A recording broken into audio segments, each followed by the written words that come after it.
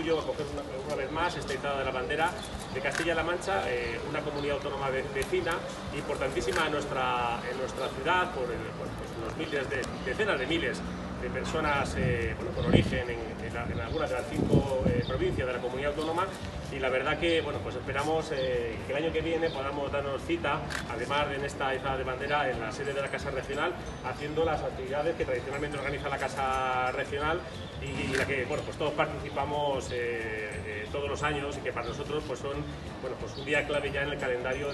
anual.